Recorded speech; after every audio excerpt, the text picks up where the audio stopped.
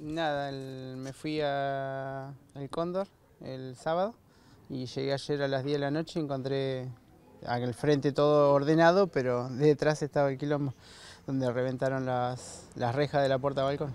Es decir, que cuando ingresaste a la casa te diste cuenta de lo que había sucedido. Sí, faltaba el tele, que es lo más grande que había, que lo primero que te llama la atención, eh, la ventana abierta, la reja reventada, las ventanas de las piezas de las nenas abiertas y, nada, faltaba eso, después empezaba a revisar y empezó a faltar el DVD, empezó a faltar herramientas, moladora, agujereadora y, demás cosas, ropa revuelta, las camas de las nenas revueltas, los dormitorios todos dados vuelta. Y nada, después no faltó nada de dinero porque no había acá, no dejé nada. Eh, nada. ¿Cuánto hace que vivís? Porque es un barrio relativamente nuevo. Dos meses más o menos hace que, que estoy acá.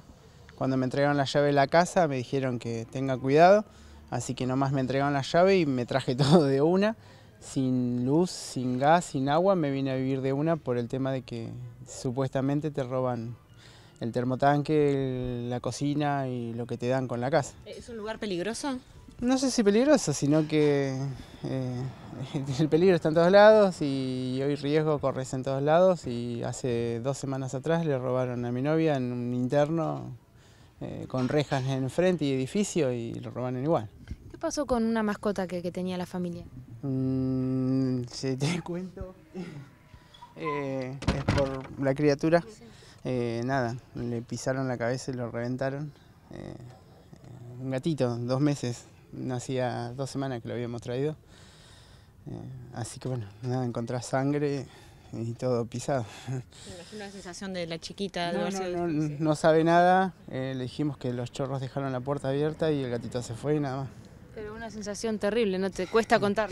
Angustia, te da impotencia y bronca, sabiendo que los podés tener acá nomás, a cuadras. ¿Es la primera vez que te roban? Sí, sí, sí, sí, sí, sí. Siempre, o sea, he estado en una casa alquilando y nunca pasó nada.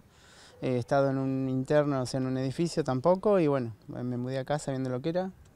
Hice rejas, tres cerraduras, y si vos viera la reja del coso, del patio, le hemos tirado un contenedor porque nos quedó mal soldada, le tiramos un contenedor encima y no se torció, y estos tipos le, arrancaron de la pared literalmente.